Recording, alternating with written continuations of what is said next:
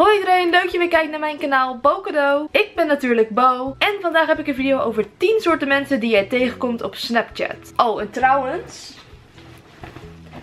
Merry Christmas. Ik heb geen idee waarom dit kussen hier ligt. Merry Christmas in april, jongens. Maar goed, Snapchat. Wie kent het niet? Wie heeft het niet? Ik neem aan dat bijna iedereen van jullie ook wel Snapchat heeft en gebruikt. En ook al gebruik je het niet, ik denk dat je het wel kent. Ik heb uiteraard ook Snapchat. Mijn Snapchat is Bocado. Dus voeg me eventjes toe als je wilt en stuur me even een leuke foto van deze video of zo. Dat je naar mijn hoofd zit te kijken. I don't know. Mijn Snapchat staat altijd gewoon open. Dus iedereen kan mij altijd een Snapchat sturen. En ik krijg altijd heel veel binnen. En daarom dacht ik van waarom maak ik niet eens een keer een video over 10 soorten mensen die je op Snapchat tegenkomt? Want ik kom altijd heel veel verschillende soorten mensen tegen met verschillende soorten foto's. Oké, heb je nou zin in deze video? Doe dan alvast eventjes een duimpje omhoog. Ben je nog niet geabonneerd op mijn kanaal? Doe dat dan nu even door op het abonneerknopje te drukken hier beneden. En dat zou ik super leuk vinden. En dan krijg je een um, cadeau. Een Bo cadeau. Krijg je mij cadeau? Huh, dat is raar. Maar oké. Laten we beginnen met nummer 1. De Selfie Queen.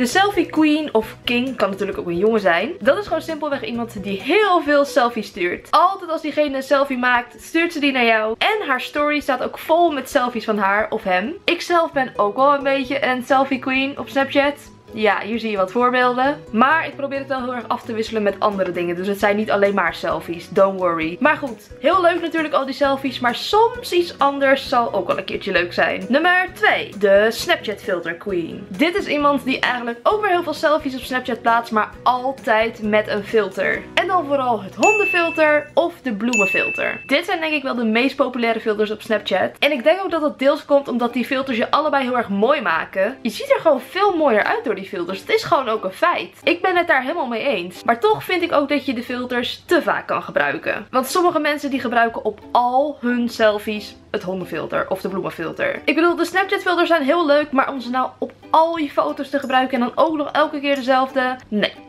kan wel iets minder. Nummer 3. Snapchatter die alleen maar good morning of good night snap stuurt. Ja, en zulke Snapchats zien er dan dus zo ongeveer uit. Meestal is het gewoon een zwart scherm met daarop GM of GN. En GM staat dan voor good morning. GN staat voor good night. Oh, en soms staat er ook nog de tijd bij, zoals op deze Snapchat. Ja, weet je, iedereen weet dat je in de ochtend opstaat en in de avond gaat slapen. Dus om daar nou echt elke dag een Snapchat van te sturen is misschien wel een beetje over de top. Maar goed, als het nou een persoonlijk good night berichtje zou zijn, dan zou het op zich nog wel leuk zijn. Maar nee, dit is gewoon die Snapchatter die een zwarte foto stuurt met daarop GN. En die stuurt het naar heel zijn lijst. En ja, dat is gewoon een beetje boring en eigenlijk boeit het ook niemand. Nummer 4. De Emoji Snapper. Deze Snapchatter zet altijd allerlei emojis in haar Snapchat. Als er een tekstje bij de Snapchat staat, staan er altijd duizenden emojis bij. Of als degene een selfie plaatst, staan er ook heel veel emojis bij. Hier zie je weer even een prachtig voorbeeld dat ik het eventjes heb proberen na te maken. Maar goed, dit is dus gewoon een Snapchatter die van emojis houdt. Iedereen kan mij natuurlijk altijd Snapchat sturen. Dus ik krijg soms wel Snapchats van fans met dan emojis. En dan krijg ik echt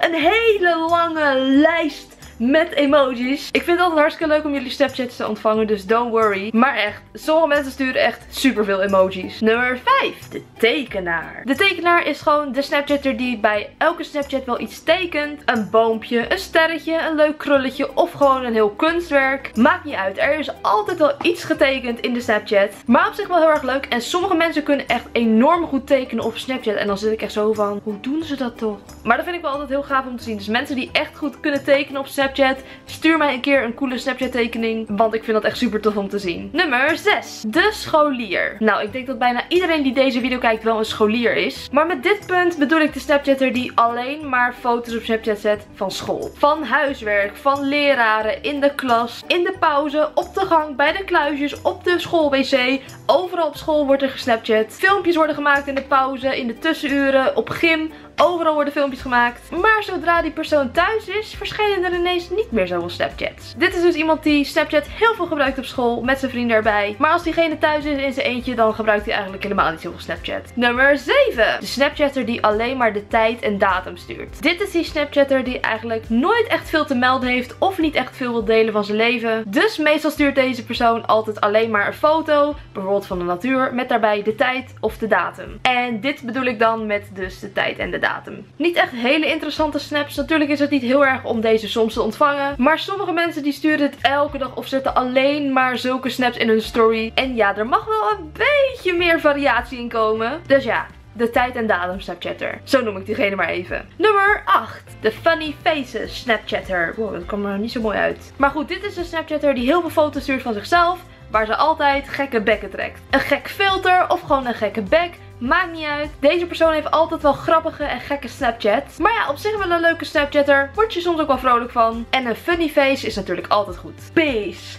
Nummer 9. De Snapchatter die alleen maar reageert. Dit is iemand die Snapchat wel heeft, maar het eigenlijk niet zoveel gebruikt. Diegene zet nooit wat in zijn story. Diegene stuurt je nooit een foto. Het enige wat diegene eigenlijk doet is reageren op foto's die jij naar die persoon stuurt. Maar ja, je zou dus echt nooit een foto van deze persoon in hun story zien. In ieder geval, dit is dus een persoon die eigenlijk niet zoveel van Snapchat houdt. Nummer 10. De laatste. De Snapstreak verpester. Ik denk dat heel veel van jullie het wel hebben. Een Snapstreak. Je kan op Snapchat dus een streak bij En dat is als je heel veel foto's naar dezelfde persoon stuurt achter elkaar. Dus je moet elke dag minimaal één foto sturen naar een persoon. En als je dat heel veel dagen achter elkaar doet, krijg je dus een snapstreak. En dan houdt Snapchat dus bij hoeveel dagen achter elkaar je die persoon elke dag een foto hebt gestuurd. Dat was lastig uit te leggen. Maar goed, als iemand dus een keertje een dag geen foto stuurt, dan gaat je snapstreak weg. En er is altijd die ene persoon waarmee je altijd een snapstreak probeert vol te houden. Maar diegene vergeet altijd een foto te sturen. Dus na vijf dagen is je snapstreak met deze persoon al gelijk weer weg. En zo gaat dat dus elke week opnieuw. Goed, dit was weer de video voor vandaag. Ik hoop dat jullie het leuk vonden. Laat mij natuurlijk ook even weten welke Snapchatter jij bent in de reacties. En hoorde je iets bekend voorbij komen en dacht je bijvoorbeeld... hey, dat is echt mijn vriendin die dat altijd doet.